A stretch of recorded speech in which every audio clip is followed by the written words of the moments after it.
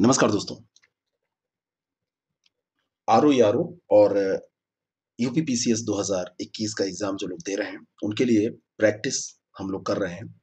और इसमें पहले भी हम तेरह एपिसोड कर चुके हैं, ये चौदहवा एपिसोड है। पच्चीस क्वेश्चन इसमें डिस्कस करेंगे, बीस प्रश्न इसमें जीएस के और पाँच प्रश्न इसके अंतर्गत हम करंट के लेते हैं। इस बीच में कुछ कारणों से हम लोग डिस्टर्ब चल रहे थे। बहुत सारी समस्याएँ आई ऑफ़िस अभी भी बंद चल रही है। कोविड के कारण ही है। लैपटॉप में समस्या आना और ये सारी चीज़ें जिसके कारण से नहीं कर पा रहे थे। आज से कंटिन्यू करते हैं और आज आप लोगों से एक सर्वे भी मुझे करवाना है। इस सर्वे को करके मैसेज छोड़ के जाइएगा कि अगर मैं ये क्लासेस आप लोगों के लिए जो ये करवा रहा हूँ, कम से कम दो क्लासेस एक तो ओम पांडे चैनल पर और कम से कम एक उस चैनल पर I S prep academy channel पर। तो इसको मैं रात में अगर शिफ्ट करूँ तो आपके लिए सुटेबल टाइम क्या रहेगा? दोनों के लिए सुटेबल टाइम आप लोग बताएँगे और इसको एक दो दिन में हमको शिफ्ट करना पड़ेगा, क्योंकि रात में ही हम काम कर सकते हैं, कुछ ऐसी परिस्थितियाँ हैं।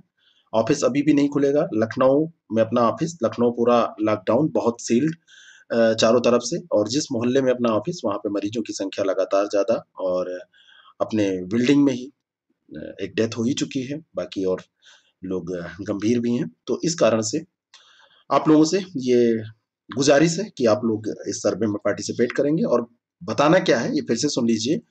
रात में अगर मैं क्लास करूँ तो एक आधे घंटे का और एक एक डेढ़ घंटे का सेशन ये किस टाइम आपके लिए सुटेबल रहेगा? दो स्लॉट्स बताइएगा। एक मॉर्निंग में हो सकता है अर्ली मॉर्निंग और एक होता है, एक एक रहेगा रात में। तो अर्ली मॉर्निंग और रात, ये इस तरीके से बताइएगा। ठीक है?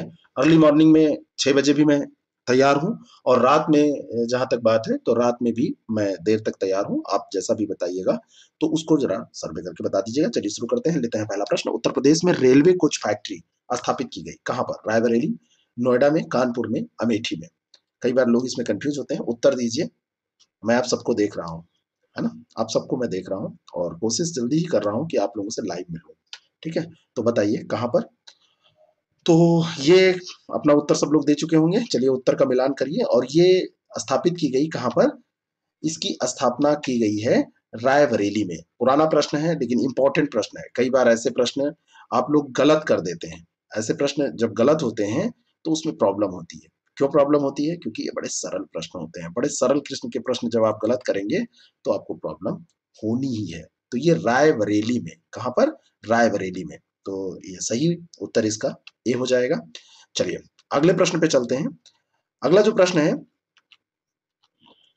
पपीते में पीले रंग का कारण क्या होता है? पपीते का रंग पीला होता है ना? तो किस कारण से पपीते का रंग पीला होता है? पैपेन लाइकोपिन कैरिकाजैंथीन, कैरोटीन, किसके कारण से पपीते का रंग पीला होता है? उत्तर दीजिए।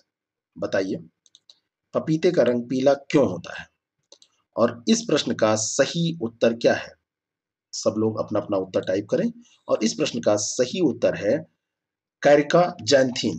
कैरिका जैंथीन के कारण पपीते का जो रंग होता है, वो पीला होता है। पीला रंग जो कारण है, वो कैरिका जैंथीन के कारण होता है। आगे बढ़ते हैं। इसकी व्याख्या भी देख लेते हैं।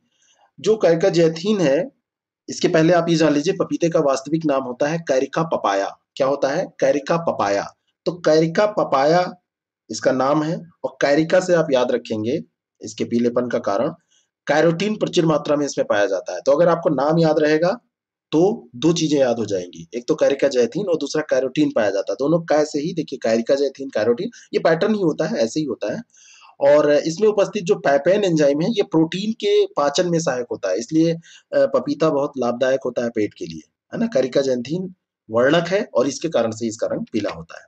अगला प्रश्न है, वर्तमान आनुवंशिक विज्ञान का जनक कौन है? वर्तमान आनुवंशिक विज्ञान का जनक कौन है? आनुवंशिक विज्ञान के बारे में आप जानते हैं तो आनुवंशिक विज्ञान का जनक कौन है वर्तमान? तो इसके बारे में आपको बताना है। तो ग्रेगर जॉन मेंडल के बारे में आपने पढ़ा होगा। आप लोग उत्तर दीजिए, ए ऑप्शन इसका करेक्ट है। ग्रेगर जॉन मेंडल जो थे, उन्होंने एक ये जर्मन भाषी ऑस्ट्रेलियाई ऑग्नेस्टियन पादरी और वैज्ञानिक ये थे, ये पादरी भी थे और वैज्ञानिक भी थे, ये दो चीज़ें ध्यान रखिएगा इनके बारे में। तो इन्होंने क्या किया था? इन्होंने मटर के दानों पर प्रयोग किया था और मटर के दानों पर प्रयोग करके इन्होंने बताया था कि जो आनुवंशिकी का सिद्धांत है है ना? उन्होंने आनुवंशिकी का जनक इसीलिए इनको माना जाता है कि इन्होंने आनुवंशिकी के नियम को प्रतिपादित किया था, निर्धारित किया था, ठीक है? और ये ग्रेगर जॉन मेंडल थे। अगला प्रश्न, नेक्स्ट क्वेश्चन। अगला जो प्रश्न है, नौ आविष्कृत उच्च ताप अतिचालक है। कौन सा इसमें नौ आविष्कृत है? जिसका आविष्कार जल्दी में हुआ है, ऐसा कौन सा अतिचालक है? ये आपको बताना है। उत्तर दीजिए। और इस प्रश्न का सही उत्तर क्या है? कौन सा इसमें नौ आविष्कृत उच्च ताप अतिचालक है? ऐसे प्रश्न खूब पूछे जाते हैं और इस प्रश्न का सही उत्तर है सिरेमिक ऑक्साइड। तो जिनका भी उत्तर इसमें सी है उनका उत्तर सही है। सिरेमिक ऑक्साइड जो है, ये अतिचालक के बारे में जानते हैं? अतिचालक जो होता है, उसका क्या काम होता है? जरा कमेंट करके बताइए। अतिचालकता की दिशा में जो खोज हो रहे हैं, उनमें अभी सिरेमिक ऑक्साइड बहुत ही उपयोगी सिद्ध हुआ है। मृतिका युक्त धातुओं पर अतिचालकता के प्रयोग किए जा रहे हैं और इसमें सफलता भी मिली है। अतिचालकता जो होती है, ये अतिचालकता युक्त मृतिकाएँ जैसे थैलियम है, बेरियम है, कैल्शियम है, कॉपर ऑक्साइड है, इन्हीं से ये युक्त होती है। तो ये ध्यान रखिएगा। नेक्स्ट क्वेश्चन अगला जो प्रश्न है डेजर्ट कूलर द्वारा शीतलन किस सिद्धांत पर आधारित है? जो डेजर्ट कूलर होते हैं तो ठंडा करते हैं तो वो किस सिद्धांत पर शीतलन आधारित है? उष्ण वायु प्रतिस्थापन, वायु निर्जलीकरण, वाष्पन शीतलन, वायु पुनर्जलीकरण। इस प्रश्न का उत्तर आप लोग दीजिए। और अपना उत्तर आप टाइप कीजिए। और जिनका भी उत्तर है, वाष्पन शीतलन, यानी कि जिनका उत्तर सी है, वो उत्तर सही है। वाष्पन शीतलन सिद्धांत पर ये काम करते हैं। वाष्पन शीतलन सिद्धांत पर डेजर्ट कूलर काम करते हैं। डेजर्ट कूलर पानी के वाष्पीकरण द्वारा वायु को शीतल करता है। क्या करता है? वायु को शीतल करता है। ठीक है? अगला जो प्रश्न है, सागरीय लवणता का मुख्य स्रोत क्या है? सागरीय लवणता का मुख्य स्रोत। इस प्रश्न का आप उत्तर दीजिए। सागरीय लवणता का मुख्य स्रोत। नदियाँ, भूमि, पवन, ज्वालामुखी से निश्रित राख किससे सागरीय लवणता होती है? जो सैलिनिटी होती है। तो ओसेनिक सैलिनिटी का स्रोत क्या है? ओसेनिक सैलिनिटी ओसेनिक सैलिनिटी का स्रोत क्या है, ये आपको बताना है। और इस प्रश्न का सही उत्तर है, क्या? सागर में क्या जाके मिलता है? नदियाँ मिलती हैं। और ये जो नदियाँ हैं, ये भूमि से लेके जाती हैं लवणता। तो इसका जो मुख्य स्रोत है, वो भूमि है। भूमि से ये लवणता लेके जाती हैं। नदियाँ लवणता को सागर तक केवल पहुँचाने का कार्य करती हैं। तो स्रोत नदियाँ नहीं है नदियाँ परिवहन का कार्य करती हैं। इन चीज़ों को समझिएगा। और प्रमुख कारक जो है पहुँचाने के उनमें से एक है। कौन? नदियाँ। किलीमंजारो है एक। क्या? ज्वालामुखी पर्वत द्वीप सिंह नदी। क्या है? जिन्होंने क्लास की है ज्योग्राफी की। ज्योग्राफी क्लास भी अभी कंटिन्यू होगी। जब आप टाइम बता देंगे तो उसमें हम लोग धीरे धीरे करते रहेंगे। बड़ा खराब समय इधर अपना रहा। अपनी टीम का रहा। बहुत सब व्यवस्थित करने में बहुत चीज़ें लग समय लग गया। कई कोर्सेज चल रहे हैं। टेस्ट सीरीज़ चल रही है। आरओ की आरओ का फुल कोर्स चल रहा है। पीसीएस का फुल कोर्स चल रहा है। पीसीएस की टेस्ट सीरीज़ चल रही है। और उन सब चीज़ों को मैनेज करना इस कोरोना काल में बड़ी दिक्कत। बड़ी दिक्कत का काम था। तो अब धीरे धीरे मैनेज हो रही चीज़ें। ऑफ़िस बंद है। किलिमंजारो एक ज्वालामुखी पर्वत है। इसके बारे में आपको हमने डिस्कस करके बताया भी था। तो ज्वालामुखी पर्वत है। किलिमंजारो पर्वत तंजानिया के उत्तर पूर्वी भाग पर स्थित है। और ये आग्नेय गिरी या ज्वालामुखी पर्वत है। अगर आग्नेय गिरी कहा जाए तो वो भी सही है। और ज्वालामुखी संघ, किम्बो, मवेंजी और सिरा के साथ पूर्वोत्तर तंजानिया में एक निष्क्रिय स्ट्रेटो ज्वालामुखी है। निष्क्रिय है, ध्यान रखिएगा। और अफ्रीका का उच्चतम पर्वत है ये, जिसकी ऊंचाई पाँच मीटर या उन्नीस फीट है, ये ध्यान रखिएगा। अगला जो प्रश्न है, निम्न में से कौन सा ग्रह नहीं है? चंद्रमा, पृथ्वी, मंगल बुद्ध कौन सा ग्रह नहीं है? कितना सरल प्रश्न है। चंद्रमा, पृथ्वी, मंगल बुद्ध उत्तर दीजिए फटाफट। आप सभी को मैं देख रहा हूँ। कौन कौन उत्तर टाइप कर रहा है? कई लोगों के तो मैं नाम भी जान रहा हूँ। निम्न में से कौन सा ग्रह नहीं है? चंद्रमा, पृथ्वी, मंगल बुद्ध सब पता है आपको? पृथ्वी ग्रह है, मंगल ग्रह है बुद्ध ग्रह है, लेकिन चंद्रमा जो है वो ग्रह नहीं है। चंद्रमा क्या है? चंद्रमा ग्रह तो नहीं है। तो चंद्रमा है क्या? चंद्रमा एक उपग्रह है। क्या है? चंद्रमा एक उपग्रह है। ठीक है? ध्यान रखिएगा। अगला जो प्रश्न है, हिंदी के पश्चात कौन सी भाषा भारत में सबसे अधिक बोली जाती है? बंगाली, तेलुगु, तमिल, मराठी। और इस प्रश्न का उत्तर कौन सबसे पहले देगा? बहुत सरल प्रश्न है। और इस प्रश्न का उत्तर मैं जल्दी दूँगा, क्योंकि ये बहुत सरल प्रश्न है। तो जिनका भी उत्तर है ए बंगाली, उनका उत्तर सही है। बंगाली हिंदी के बाद सबसे ज़्यादा बोली जाने वाली भाषा है, ठीक है? और उसके बाद में बंगाली के बाद तेलुगु आती है, ठीक है? तो खेला कहाँ होला? तो खेला होला बंगाली में, बंगाल में तो वही हिंदी के बाद, ठीक है? ध्यान रखिए। निम्नलिखित कथनों पर विचार कीजिए और दिए गए विकल्पों से उत्तर चुनिए। भारत में पहली जल विद्युत परियोजना कर्नाटक राज्य में कावेरी नदी पर शिव समुद्रम नामक स्थान पर प्रारंभ की गई। और दूसरा है, कालपोंग जल विद्युत परियोजना सिक्किम राज्य में स्थित है। दोनों स्टेटमेंट आप पढ़िए, जो सही स्टेटमेंट है, उनको बताइए कि कौन से सही है। ठीक है? उत्तर दीजिए।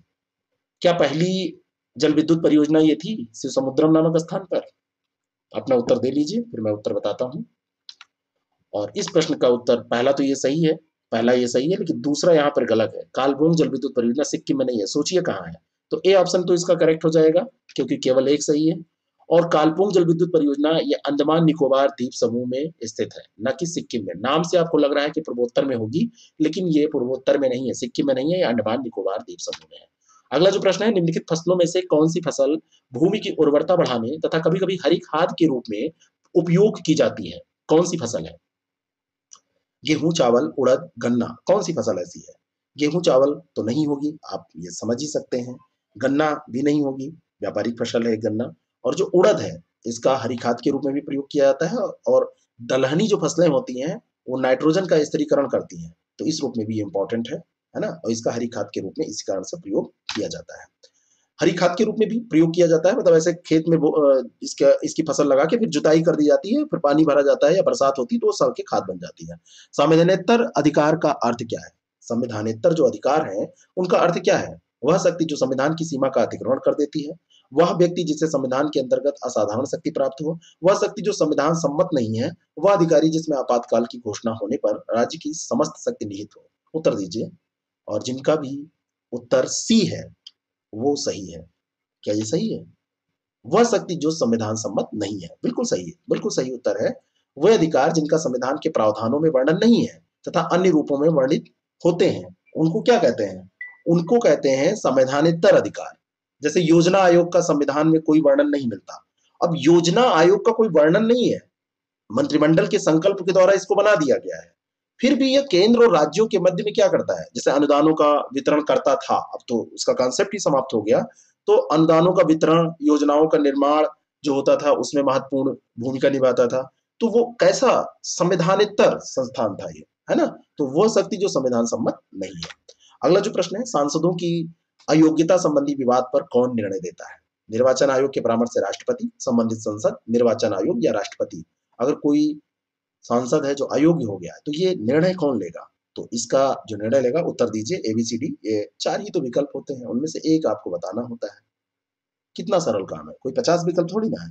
तो जो निर्वाचन आयोग है, वो राष्ट्रपति के परामर्श से, निर्वाचन सॉरी, निर्वाचन आयोग जो है वो राष्ट्रपति को परामर्श देगा, और निर्वाचन आयोग के परामर्श से राष्ट्रपति इनके अयोग्यता का निर्णय लेगा। अनुच्छेद 103 में सांसदों की निर्हरता या अयोग्यता के संबंध में बात की गई है। और उसमें ये लिखा गया है कि राष्ट्रपति निर्वाचन आयोग के परामर्श के आधार पर ये निर्णय लेगा। अगला जो प्रश्न है, किस राज्य की राजधानी का नाम स्वतंत्रता प्राप्ति के बाद अभी तक नहीं बदला? तमिलनाडु, पश्चिम बंगाल, केरल, तेलंगाना पहले जो था और अभी भी है। पूछा हुआ प्रश्न, बहुत इंपॉर्टेंट प्रश्न। कौन सी राजधानी है ऐसी? उत्तर दीजिए। सरल प्रश्न है और इस प्रश्न का सही उत्तर है तेलंगाना। है ना? तेलंगाना का नहीं बदला है। ठीक है ना? बाकी बदला है। सुनता प्राप्ति के बाद तेलंगाना की राजधानी हैदराबाद का नाम अभी तक नहीं बदला है। हैदराबाद का नाम हैदराबाद ही है।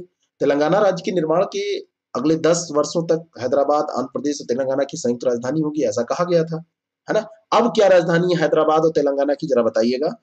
बाकी चेन्नई, पश्चिम बंगाल की राजधानी कलकत्ता, है ना? और मद्रास का अद्यतन नाम चेन्नई हो गया और जो कलकत्ता है उसका कोलकाता हो गया। केरल की राजधानी त्रिवेंद्रम का तिरुवंतपुरम हो गया, लेकिन हैदराबाद ऐसा है जिसका नाम चेंज नहीं हुआ। अगला जो प्रश्न है, किस गवर्नर जनरल पर महाभियोग का मुकदमा चलाया गया?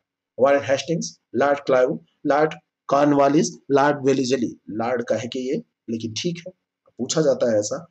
तो किस गवर्नर जनरल का महाभियोग का मुकदमा किस पर चलाया गया था? और इस प्रश्न का सही उत्तर है वारेन हेस्टिंग्स। वारेन हेस्टिंग के अन्यायपूर्ण और निरंकुश कार्यों के कारण वारेन हेस्टिंग्स पर क्या किया गया था? उसके ऊपर महाभियोग चलाया गया था, है ना? अठारह, सत्रह से सत्रह तक ये चलता रहा, किंतु ब्रिटिश संसद ने उसकी सेवा को देखते हुए फिर सभी देशों से उसको मुक्त कर दिया था। वी स्मिथ ने कहा था कि उसके थोड़े से दोस्त जहाँ तक वे वास्तव में दोस्त थे, उस राजनीतिज्ञ के दोस्त थे, जिस पर सहसा ही संकट आ पड़ा हो, तथा जिस पर इतनी कठिन उलझने आ पड़ी हो कि मानवीय समझ में भूल चूक हो जानी आवश्यक थी। ऐसा स्मिथ ने कहा था उसके बारे में। अगला जो प्रश्न है, भारतीय भाषा में अठारह के विप्लव के कारणों पर लिखने वाला प्रथम भारतीय कौन था? तो प्रथम भारतीय कौन था? Syed Ahmed Khan V D Savarkar, Bankim Chatterjee. शर्त क्या है कि विप्लव के कारणों पर लिखने वाला प्रथम भारतीय? विप्लव के कारणों पर प्रथम दृष्टिपात किसने मतलब दृष्टि किसने डाला था, किसने लिखा था? तो इस प्रश्न का सही उत्तर आप लोग दीजिए। और इसका सही उत्तर है सैयद अहमद खां। वीडी सावरकर जो लोग मार रहे थे, उनका गलत है। वीडी सावरकर नहीं सैयद अहमद खां थे। और इस प्रश्न को मैंने प्रैक्टिस सेट में भी कराया था, जब मैं क्लास हिस्ट्री की अपनी क्लास जो पूरी हुई थी, उसके बाद मतलब जो उसमें डेली कराता था। तो सर सैयद अहमद खां द्वारा लिखित पुस्तक है, असबाब बगावत हिंद। अठारह में सत्तावन में विद्रोह हुआ है, और उसके दो साल बाद, बगावत हिंद, असबाब बगावत हिंद यह सर सैयद अहमद खां की पुस्तक प्रकाशित हुई, जिसमें अठारह के विद्रोह के कारणों पर चर्चा की गई थी। ध्यान रखिएगा। नेक्स्ट क्वेश्चन सरंजामी प्रथा किससे संबंधित थी? बढ़िया प्रश्न है। मराठा भू राजस्व प्रथा, तालुकदारी प्रथा कुतुबशाही प्रशासन, बताइए, किससे संबंधित थी? बताइए। और उपयुक्त में से कोई भी एक विकल्प है। तो सरंजामी प्रथा मराठा भू राजस्व प्रथा थी। मराठा भू राजस्व प्रथा, ए ऑप्शन इसका करेक्ट है। और मराठा काल में सरंजामी प्रथा भू राजस्व प्रशासन से संबंधित थी, जिसमें मराठा जागीरदारों को उनके जीवन निर्वहन के लिए क्या किया जाता था। उनके निर्वहन के लिए कुछ प्रदान किया जाता था। जागीरदार, जागीरदारी दी जाती थी, भूमि प्रदान की जाती थी, वही ये प्रथा थी। चलिए, अगला जो प्रश्न है, आल्हा उदल किस शासक के सेना नायक थे? आल्हा उदल, बताइए। परमार्थी देव के, विद्याधर के, नन्नुक के, या इनमें से कोई नहीं। और इस प्रश्न का सही उत्तर है कि ये जो थे वो परमार्थिदेव के परमार्थिदेव के क्या थे? ये सेना नायक थे आलाउदल की कहानियाँ आपने सुनी है ना? महोबा से ये संबंधित थे। चंदेल शासक थे परमार्दिदेव परमाल। तो परमाल भी आपको मिल जाएगा। तो परमार्दिदेव जो थे, उन्हीं के ये सेना नायक थे और पृथ्वीराज चौहान के आक्रमण का डटकर सामना करने के बाद वीरगति को ये प्राप्त हुए थे। चंदेलों और चौहानों के संघर्ष का वर्णन चंद्रप्रदाई की एक रचना है, पृथ्वीराज रासो और जगनिक की रचना है, परमाल रासो। उसमें परमाल रासो के आल्हा खंड में ये मिलता है, आल्हा उदल के बारे में। अगला जो प्रश्न है, तमिल ग्रंथ कुरल को लघुवेद की संज्ञा दी गई। कुरल के रचयिता कौन थे? बताइए। कुरल के रचयिता कौन थे? उत्तर दीजिए, बहुत बढ़िया प्रश्न है। ये तमिल ग्रंथ है, कुरल। नंदी कमल्लम शीतलय सत्यनार इलंगो आडिगल तिरुवल्लुवर। उत्तर दीजिए, बढ़िया प्रश्न है। ऐसे प्रश्नों को तो रटा हुआ होना चाहिए। अगर आप इन प्रश्नों को भूल जाएँगे तो दिक्कत हो जाएगी। और इसका सही उत्तर है तिरुवल्लुवर। डी ऑप्शन जिन्होंने उत्तर दिया है, वो सही है। तमिल ग्रंथ कुरल को लघुवेद की संज्ञा भी दी जाती है, ऐसा भी प्रश्न पूछा गया है। तो इसके तिरुवल्लुवर थे और इसके रचयिता। अगला जो प्रश्न है, निम्नलिखित कथनों पर विचार कीजिए। वैष्णव धर्म का विकास भागवत धर्म से हुआ।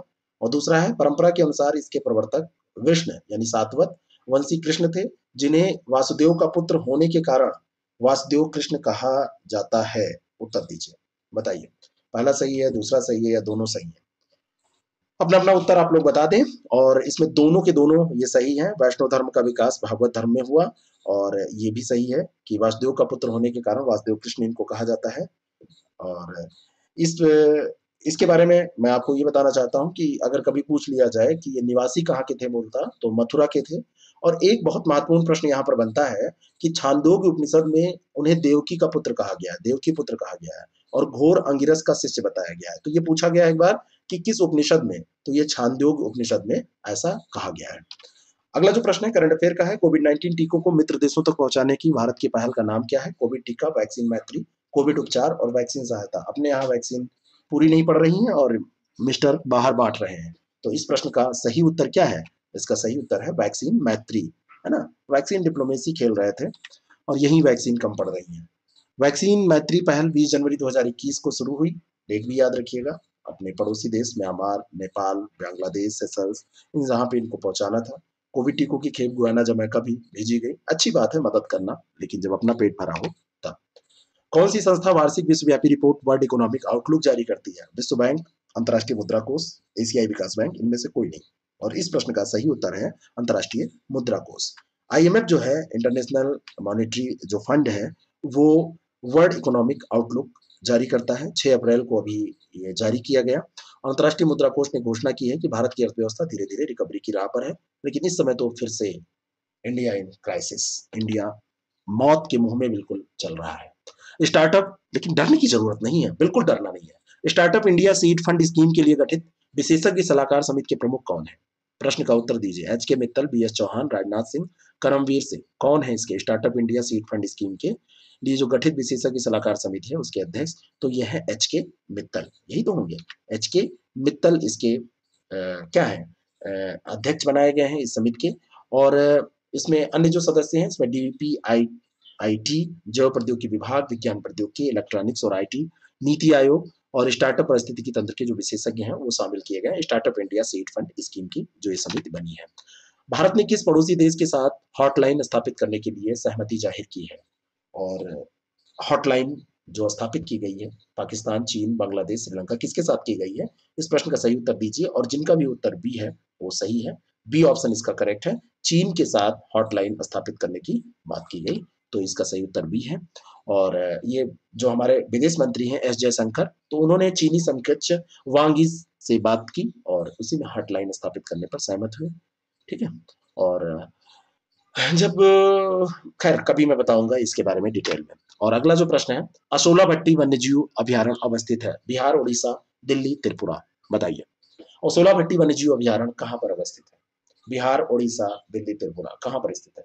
बढ़िया प्रश्न है, उत्तर दीजिए। एबीसीडी में से क्या उत्तर है? और सही उत्तर है जिनका भी, दिल्ली। ओसला भट्टी जो है, अशोला भट्टी वन्यजीव अभ्यारण दिल्ली में स्थित है। सर्वोच्च न्यायालय द्वारा रिस्क मैनेजमेंट बोर्ड ने अभी ओसला भट्टी, जो असोला भट्टी वन्यजीव अभ्यारण है वहाँ पे खानों में अक्रिय, यानी गैर प्रतिक्रियाशील अपशिष्ट के क्षेपण, डंपिंग के प्रस्ताव की समीक्षा हेतु एक विशेषज्ञ समिति का गठन किया, ठीक है? तो अक्रिय अपशिष्ट वह कचरा होता है, जो ना तो जैविक रूप से प्रतिक्रियाशील है, ना ही रासायनिक रूप से, और इस प्रकार का अपशिष्ट ना तो विघटित होता है। यानी वैसे ही पड़ा रहता है, उसमें कोई विघटन होता ही नहीं है। ये जो ओसलावट्टी वन्यजीव अभ्यारण है, ये बत्तीस वर्ग किलोमीटर क्षेत्र में फैला है, दिल्ली, हरियाणा सीमा पर, अरावली पर्वत श्रृंखला के दक्षिण में, जो दिल्ली रिज है, वहाँ पर ये स्थित है। गुरुग्राम और फरीदाबाद में ओसोला भट्टी वन्यजीव अभ्यारण के आसपास एक किलोमीटर का क्षेत्र, एक पर्यावरण संवेदी क्षेत्र है, और वहाँ पर जो भी इंडस्ट्रियल एरिया है, उसका कचरा इसमें पड़ता है तो इस कारण से ये चिंता का विषय है। तो ये आपको कैसा लगा ज़रूर बताएँ, इसको शेयर करें लोगों तक, ज़्यादा से ज़्यादा लोग जिससे इसमें पार्टिसिपेट कर पाए। और वो टाइम स्लॉट ज़रूर बताएँ, एक मॉर्निंग का और एक नाइट का। ये दो तो कम से कम रहेंगे, उसके बाद जैसी ज़रूरत पड़ेगी और हम बढ़ा लेंगे। तो दो चैनलों पर ये हम ऐसे चलाएँगे। Thank you thank you so much और अगर आपको किसी भी प्रकार की कोई सहायता चाहिए टेस्ट सीरीज़ में समझ में कुछ नहीं आ रहा है तो six three zero seven two eight one two one two पर आप कॉन्टेक्ट करें और जानकारी भी ले सकते हैं इस पर आप। बाकी आप लोग पढ़ते रहें सेफ़ रहें, टीका लगवा लें रजिस्ट्रेशन करके, जैसे भी हो पाए। बाहर ना निकलें, कम से कम निकलें, महामारी का दौर है। लोगों की सहायता करें, डरे नहीं, साहस बांधे रहें, पढ़ाई अपनी जारी रखें। एग्ज़ाम्स टलेंगे तो ठीक, नहीं टलेंगे तो ठीक। वैसे, ऐसे मौत के मुँह में जाके एग्ज़ाम देना भी सही नहीं है।